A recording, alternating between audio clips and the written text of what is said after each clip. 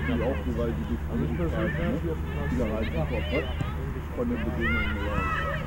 Also wenn du da keine unbedingt hast. Also das war